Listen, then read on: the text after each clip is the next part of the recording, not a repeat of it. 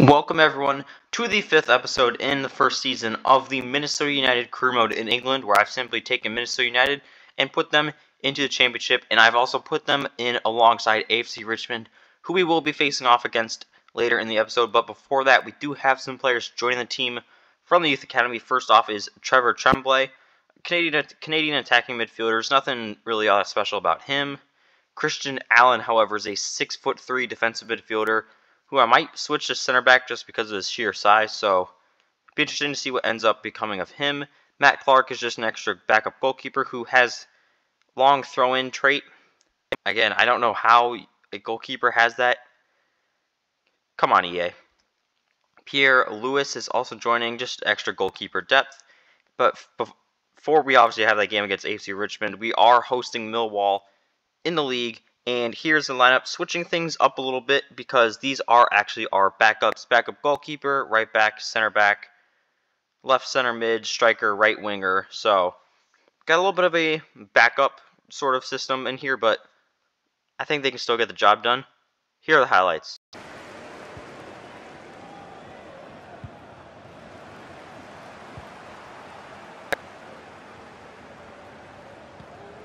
Hayes well, they have it again. Well, he could really get at the opposition. Great opportunity.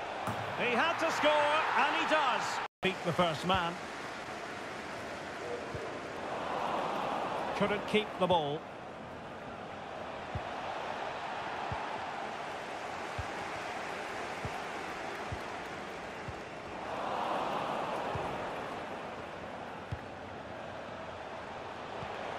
An incisive pass. He might be able to make it through. There it is. 2-0 here, and the ball is moving again. And he did well to cut it out. Moving it forward.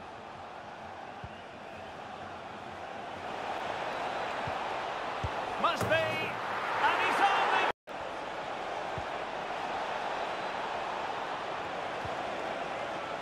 It's a corner.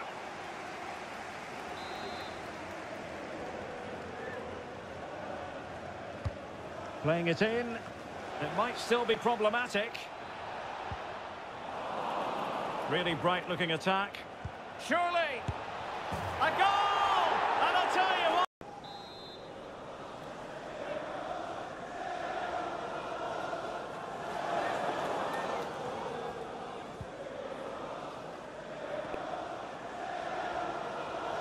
He takes aim, determined defending, and a goal! He's...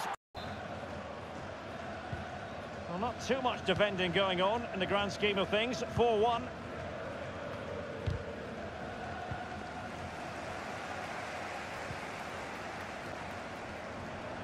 Well, he has the measure of his opponent. Gives it a go. Another goal! Atmosphere is always good inside that stadium, and two very good teams. Is it going to be? Well, last gasp defending, but brilliant defending. Franco Fragapane. Can he find the right pass? Tremendous ball played through. Oh, yes! It's gone in!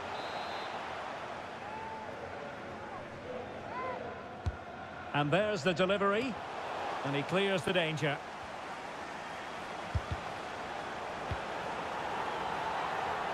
This might be the perfect counter-attacking opportunity. And they'll regard that as a very disappointing end to the move. Chance to finish. And he's made it a brace. So we ended up losing the game 5 to 3, but Bradshaw was just unstoppable. There was no chance of us stopping him, so just have to take our defeats and move on to face off against Ted Lasso's AFC Richmond at Nelson Road Stadium. I put them in here because why not? It's just an extra chance to do some crazy wacky things. But we are back to playing our strongest 11 in our 4-2-2-2. Expect a big game from Reynoso. Got a lot of rest last game, so he's fully fresh. But thankfully, so is most of the squad. Here are the highlights. This is looking threatening. Could be. That's a great stop. Well, his reflexes are so good there. That's a fantastic stop. Playing it in. And a super header. It looked as though it might be going in.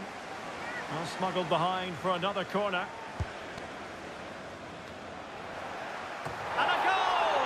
An early boost. Well, the supporters think it's on. Great challenge. He got nothing but ball.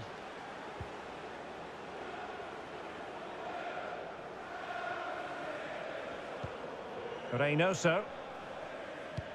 They might be able to get in now. Opportunity it is. It's gone in! And well, he... Regain the ball, which has made them so hard to play against here, and it makes them such a good team. It's been a brilliant performance so far. Yes, who knows, maybe another opportunity in the works for them.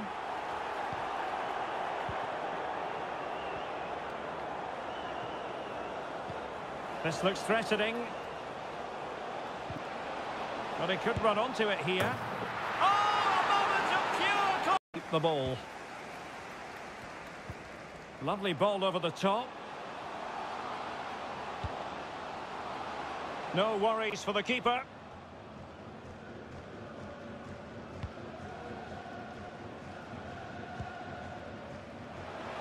And he's made headway. Is it going to be? In it goes! Such a good... Losing possession.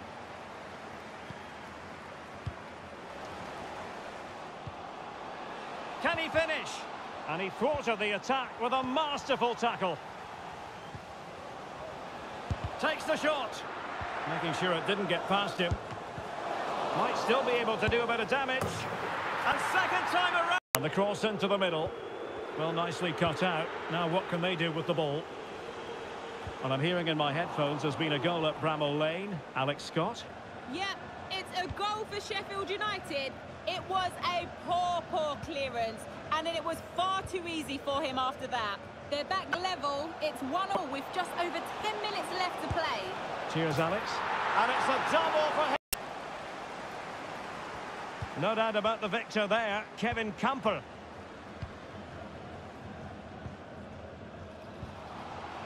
And as a defender, you really have to concentrate to the maximum to bar the door, as he did then.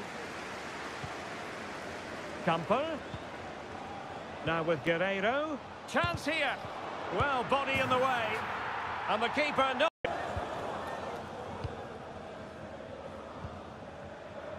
Lawrence. Wil Trapp. Romain Métanire. Committed challenge.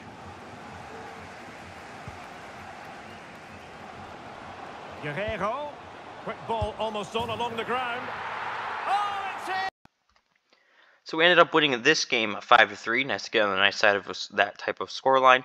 It was really 5 to 1, but they got two goals late, but who really cares? We absolutely showed up. However, expected goals were a lot lower than theirs. Again, I don't know how FIFA calculates this stat, but it never seems to be correct. But in the league, we're now currently sitting just two points off of a promotion playoff spot, which is pretty good. Yeah, in the league, uh, mixed results, two wins, two losses. Next month is uh, quite the busy month. Definitely going to play against AFC Richmond again, but I don't know what other game we're going to play, but there's a lot of a lot of games to choose from. I mean, 8 games in a month. That is less than ideal, I'm not going to lie. But we do have a week off after what seems to be that first wave, so I think maybe we'll play against Blackburn. Who knows?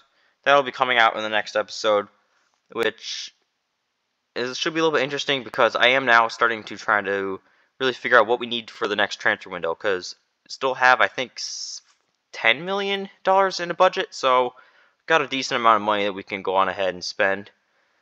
But yeah, that's gonna be it for today's episode. Hope you guys have enjoyed. For more FIFA content, check out the links below in the description, and I'll see you all in the next video.